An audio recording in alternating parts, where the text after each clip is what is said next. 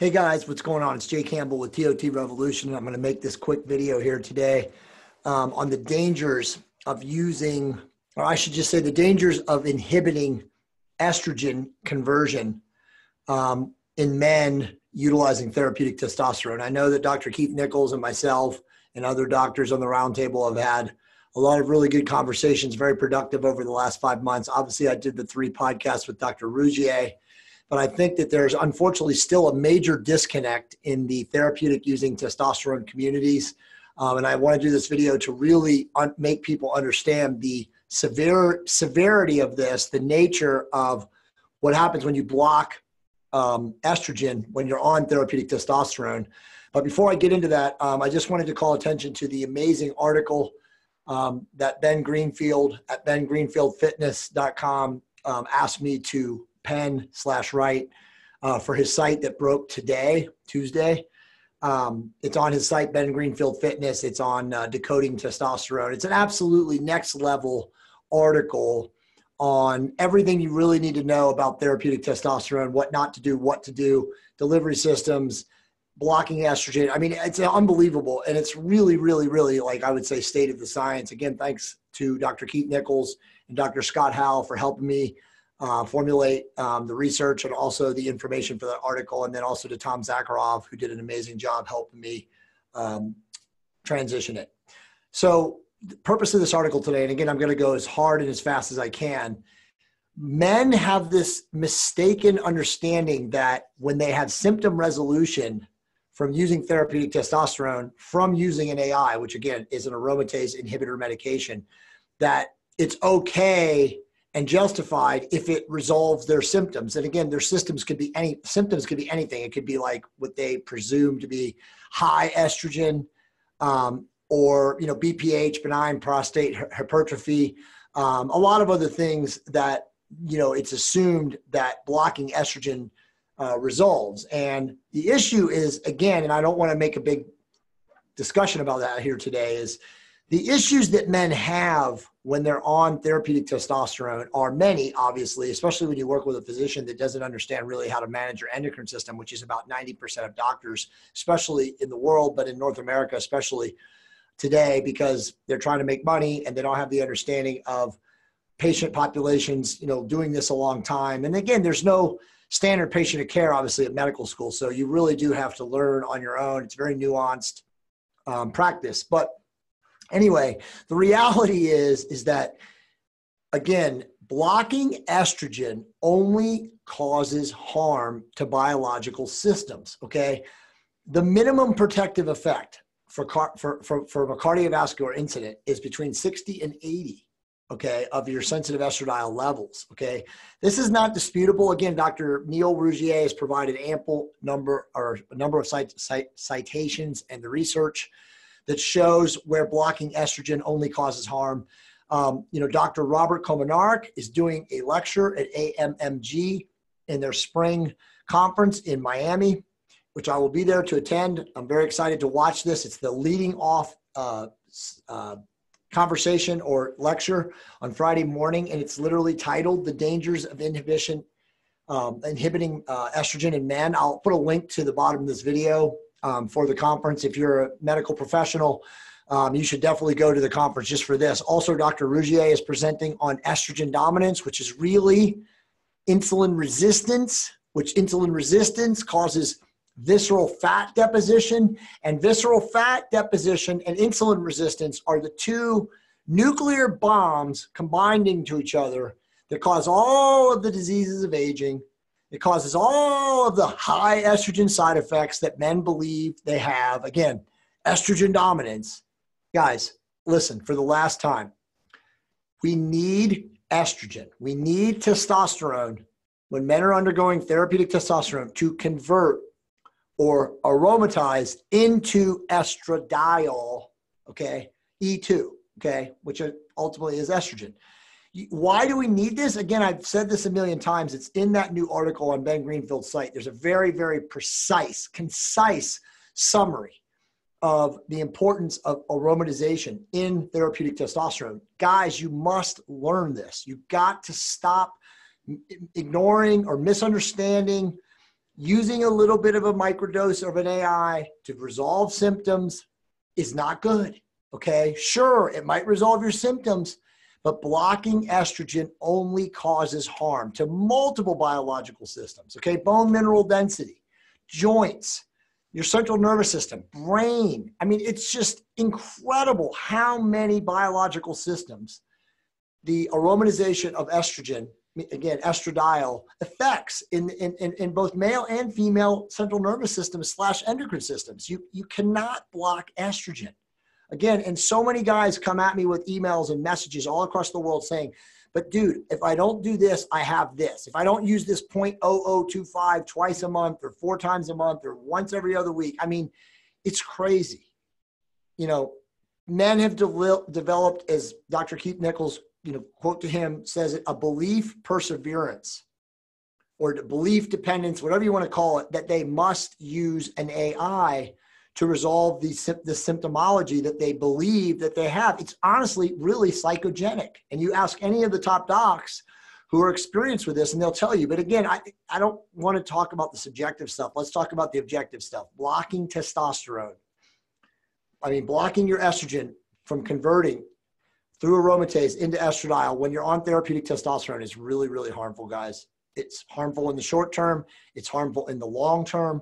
Again, there are so many biological processes. And, you know, and again, Dr. Rob has done some really good videos with me, and obviously all of the roundtable doctors, we've discussed this on podcasts. Doing DEXA scans of guys that have been on AIs for five, six, seven years, even 10 years is really scary when you see how bad their bone mineral density is. So again, even a micro dose of this stuff does harm to you. So stop using AIs, okay? This is about therapeutic testosterone. We're not talking about super physiological bodybuilders using massive amounts of testosterone or whatever else they're using. And those guys are swimming in estrogen um, and they're using AIs to block it. And again, even that, when you're doing that, is terribly harmful. And there'll be a lot of articles coming out in the, you know, in the, in the future about the, the damage it causes to the vascular pathways and networks when you are blocking estrogen, even when you're using super physiological levels. So again, this purpose of this video is to tell you guys, please stop using AIs. They are absolutely no good for you. They're not resolving symptoms. Your ass needs to lose body fat, reduce visceral body fat, improve insulin sensitivity, improve endothelial function. These are all things that you need to do in combination with optimization. Obviously, optimizing your testosterone, optimizing your thyroid. If you're a woman, estrogen, progesterone, estradiol, all the other things too, including testosterone. But these are all things that need to be done in conjunction with a healthy lifestyle. Okay. If you have a lot of visceral fat deposition and you're insulin resistant and you're slamming beers and eating like shit, then yeah, you're going to have high E2 symptoms, which you believe are, but they're not. We need healthy amounts of estrogen. There are tons of men that have done this right, that started out with the best physicians who have 125, 150, 123 sensitive estradiol levels, and they're fine. They have no symptoms, they have no side effects. They're okay because, again, healthy amount of estrogen is good. Okay. Now, again, we're all biochemically unique and some guys may have quote unquote high estrogen symptoms. Some guys may be, you know, genetically over aromatizers. And those type of guys, when they're when they have that clinical identification from the beginning before they start therapy, then yes, some of these guys may need some form of, you know, an AI for a very, very short amount of time, okay, to um, reduce the symptoms until they can get to a point where they can titrate off completely. As we've said many, many times before, um, the Pepsi challenge is you reduce your dosage of your testosterone and increase the frequency of your delivery system. Rinse and repeat until you get to a point where you don't have the side effects that you perceive to be of high estrogen. Okay.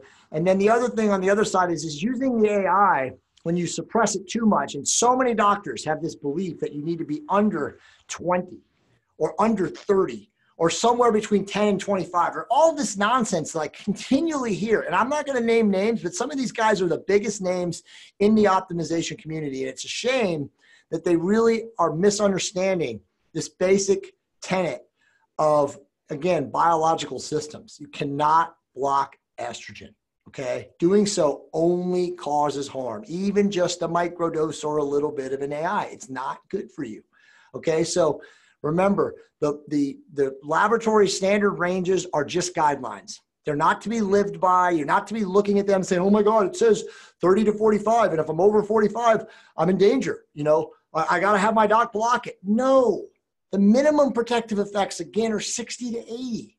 There's no reason not to have higher estrogen. Reduce your visceral body fat.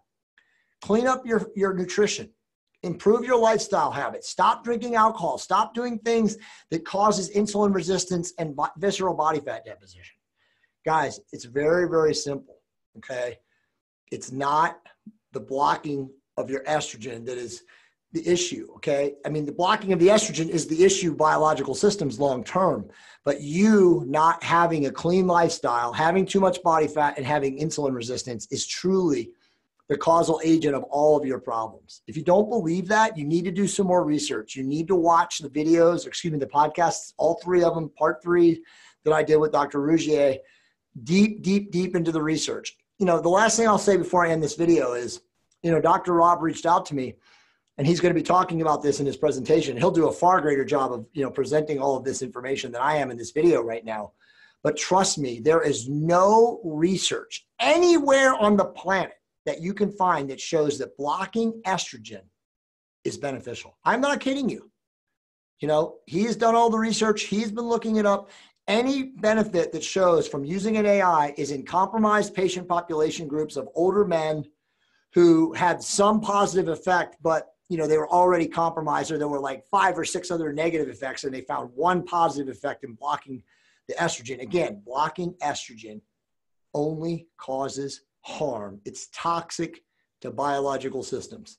Guys, if you're watching this video and you're struggling, you're in the international community, you're anywhere, your doctor has no idea what they're doing, you're frustrated. I created this group online, optimizeforever.com.